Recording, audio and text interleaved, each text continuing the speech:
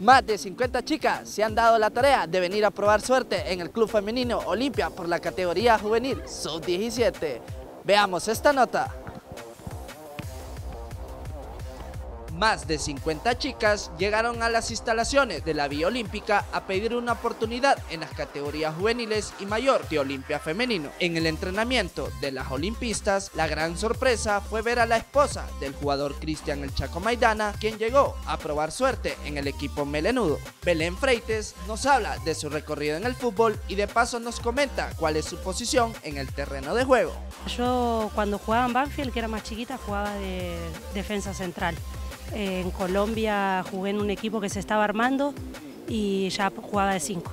Por su parte, la presidenta de Olimpia Femenino, Ligia Sandoval, nos comenta la alegría que tuvo al ver la gran cantidad de chicas para formar parte del equipo.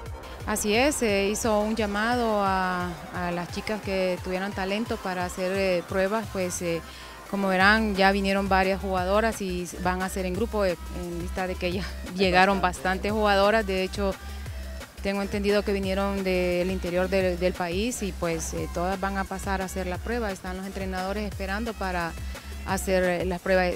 Mientras, la joven Yadira Genial nos habla de su anhelo por jugar en Olimpia. Claro, porque es una posibilidad de que en, aquí en Honduras es muy difícil los equipos de tener un equipo grande, eh, porque no hay mucho apoyo para, para las mujeres. Entonces creo que Olimpia es una oportunidad muy grande para uno. Olimpia Femenino es un equipo que está creciendo, sin duda es un club que piensa en el futuro. Les deseo el mayor de los éxitos chicas. Este fue mi reportaje para HCH Deportes, Oscar Gutiérrez.